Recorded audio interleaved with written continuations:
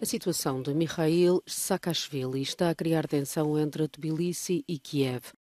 Volodymyr Zelensky acusava a Rússia de estar a usar as autoridades georgianas para matar o antigo chefe de Estado, que é cidadão ucraniano, e enviou o embaixador georgiano em Kiev de volta para o seu país para obter esclarecimentos. Saakashvili é alvo de várias acusações na Geórgia, de onde é originário, e foi detido na capital do país em outubro de 2021, quando regressava da Ucrânia.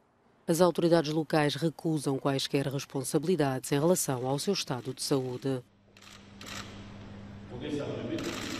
ჩვენ ზუსტად ვიცით, რომ ვიცავთ განუხრელად ადამიანის უფლებებს, მათ შორის ძალიან მაღალ დონეზე პენტენციურ დაწესებულებებში და ვერავისგან ვერ მივიღებთ გავსი ტიპის განცხადებას. რა თქმა უნდა, ეს არის ძალიან სამწუხარო.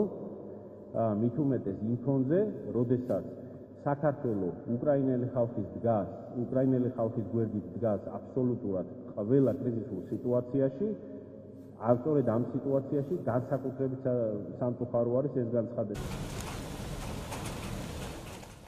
Após uma longa greve de fome, o seu estado de saúde deteriorou-se. O antigo presidente recorreu ao Tribunal Europeu dos Direitos Humanos para obter uma medida provisória de transferência para o estrangeiro para tratamento. O pedido foi rejeitado, mas a análise do caso continua em Estrasburgo.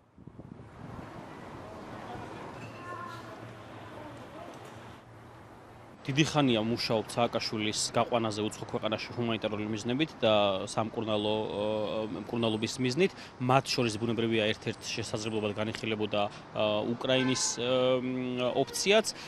რესურსი ამისა ცხადია არსებობს, არავითარი სამართლებრივი დაბრკოლება და რეალური ნამდვილი მიზეზი, რატომ არ უნდა მოხდეს ეს არ არსებობს. ერთ-ერთი მიზეზი კიდევ ერთხელ არის უბრალოდ საქართველოს ხელისუფლების შიში და მათი პოლიტიკური დაკვეთა, რომ სააკაშვილმა არ უნდა დატოვოს საქართველოს თავისუფლება Para as autoridades da Geórgia, a iniciativa das autoridades ucranianas prejudica gravemente as relações estratégicas entre os dois países.